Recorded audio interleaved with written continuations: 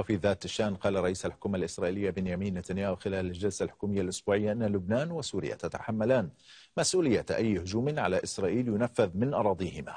أكد نتنياهو أن بلاده لن تتحمل أي هجوم على قوتها وسيادتها. أضاف نتنياهو أن إسرائيل لن تسمح لإيران بالتموضع العسكري على الحدود الشمالية. تصريحات نتنياهو سبقتها تصريحات مماثلة أدلى بها وزير الدفاع بيني جانتس ليلة أمس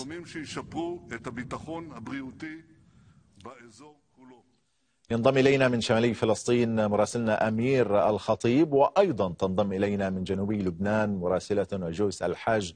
خوري أهلا بكما. أبدأ معك جويس. جويس هل ما زالت طائرات الاستطلاع تحلق بكثافة؟ طائرات طبعا مكثفة كان هناك استطلاع منها وحربية أيضا. هل هناك أيضا أي ما يلفت النظر؟ وخاصة عندما كان هناك تم إطلاق دخان للاشتباه في عملية تسلل.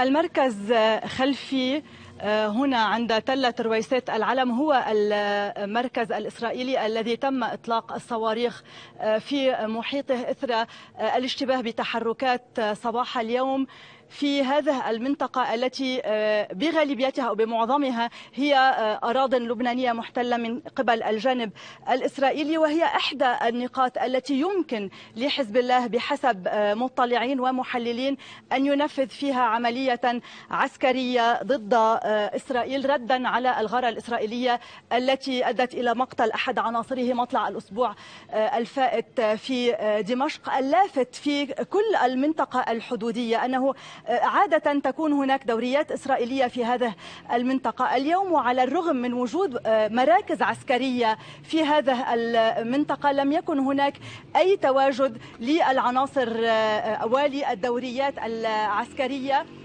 يتمترسون خلف هذه المواقع ولكن لا يقومون بأي دوريات. علما أنه حتى يعني عندما كنا في هذه المنطقة كان هناك رعاة عادة يتم إلقاء القبض عليهم في بعض الأحيان من قبل الجانب الإسرائيلي.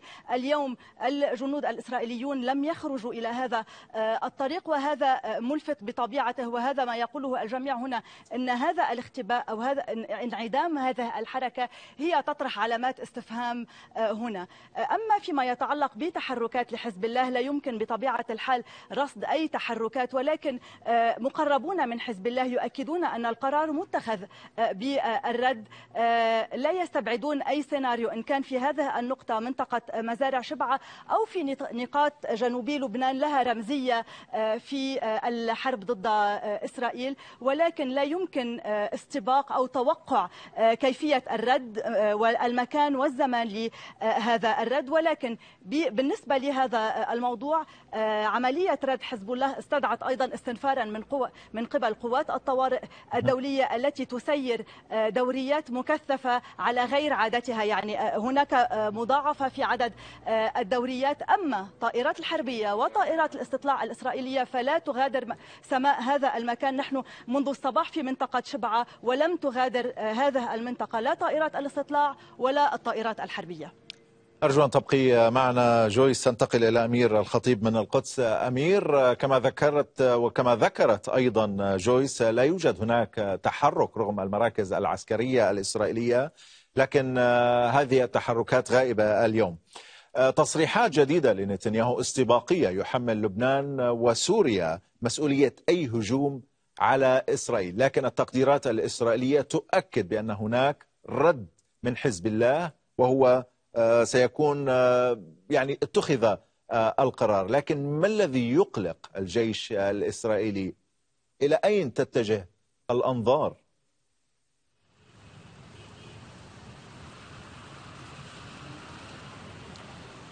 نعم أحمد دعني أبدأ من النقطة التي طرحتها جويس في جنوب لبنان وهي تساؤلات بالفعل. حول طبيعة التواجد الإسرائيلي والاستنفار الذي يتحدث عنه الجيش الإسرائيلي في الحدود الشمالية في الحدود الإسرائيلية مع لبنان. الجيش الإسرائيلي ومستويات وخبراء عسكريون عدة يجيبون على هذه الجزئية وهو أن الجيش اليوم ومؤسسة الجيش الإسرائيلي تتعمد عدم إظهار أفراد الجيش عند المناطق الحدودية أو المناطق المتاخمة للحدود اللبنانية خوفا من أي استهداف مباشر من قبل قوات حزب الله اللبناني تجاه أفراد الجيش الإسرائيلي في المناطق المحاذية عند البوابات والنقاط الحدودية الإسرائيلية مع لبنان. النقطة الثانية هي تتعلق بالمستوى السياسي وتصريحات المستوى السياسي الإسرائيلي يعني هذا النهار وفي مستهل الجلسة الحكومية الإسرائيلية الأسبوعية. كان هناك تصريح واضح لرئيس الحكومة الإسرائيلية بنيامين نتنياهو. والذي تحدث عن أن لبنان وسوريا قد تتحملان أو تتحملان بالفعل أي هجوم قد ينفذ من أراضيهما. لا يمكن قراءة هذا التصريح إلا بعد انتظار ما ستؤول إليه الأمور في الميدان ولكن على الأقل هذا التصريح هو تصريح مماثل. لتصريح وزير الدفاع الإسرائيلي بيني جانتس الذي كان نعم. يوم أمس أو ليلة أمس. وفي المقابل هذا يدل على يعني تفاعل المستوى السياسي الإسرائيلي مع الاستنفار الموجود شمال إسرائيل. من القدس مراسلنا أمير الخطيب شكرا جزيلا لك. وأيضا الشكر موصول لمراسلتنا جويس الحاج لمراسلتنا جويس الحاج خوري. كنت معنا من الجنوب اللبناني.